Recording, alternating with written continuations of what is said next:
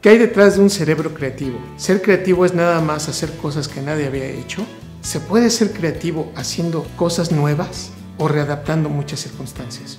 ¿Qué tanto hay de mito de un cerebro creativo? ¿Los mexicanos somos creativos? Hola, esta es una nueva entrega de Neurosalud. Yo soy Eduardo Calixto. Bienvenido.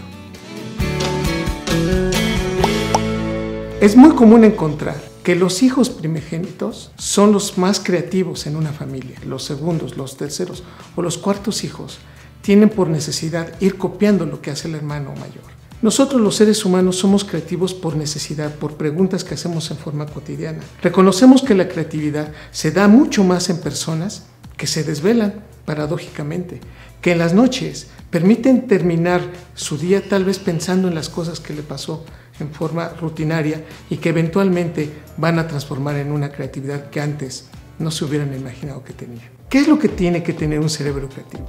Lo primero es que debe de admirar y debe reconocer su cerebro lo que está en su entorno. Si nosotros queremos hacer ese ejercicio, admira lo que haces, admira tu trabajo y ve la necesidad que, y la importancia que esto tiene en el transcurso de tu vida. Punto número dos, la motivación. Para ser creativo debes de estar motivado. Y este es un aspecto muy interesante. Dalí, uno de los mejores pintores que ha tenido este mundo, desarrolló una técnica fabulosa el surrealismo está basado principalmente en este proceso motivador que él tenía cuando le dijeron, tiene usted que pintar a Cristo crucificado, pero en una forma distinta, como se había visto.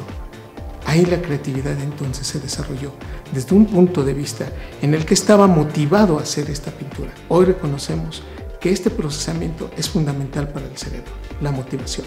Punto número 3 la ilusión de hacer una obra nueva. Si nosotros no estamos ilusionados y el cerebro no está conectado en sus áreas más profundas para lograr este evento, difícilmente podemos ser creativos. Y de ahí la necesidad de que la ilusión vaya acompañada de la motivación para poder hacerlo. Es muy claro que entre más ilusionados tengamos nosotros con respecto a la obra que estamos haciendo, el cerebro es más creativo a este punto.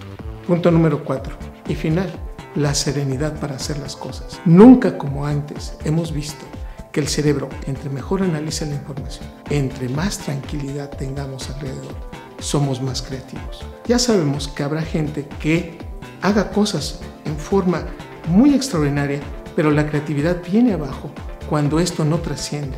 La creatividad tiene eso, trascender en nuestra cultura, trascender al tiempo, vencer esa línea que años por años seguimos viendo y seguimos admirando. De tal manera que nuestro cerebro, entre más sereno, tiene la probabilidad de ser más creativo. Pregúntate si tienes estos cuatro factores y si no los tienes, procura hacerlos en forma cotidiana. Yo agradezco mucho tu atención. Muchas gracias por estar con nosotros. Si tienes propuestas y quieres interaccionar con nosotros, no lo dudes. Nosotros agradecemos mucho tu atención. Salud 180 y Neurosalud te agradece tanto estar interactuando con nosotros. Yo soy Eduardo Calixto. Te esperamos para la próxima cápsula.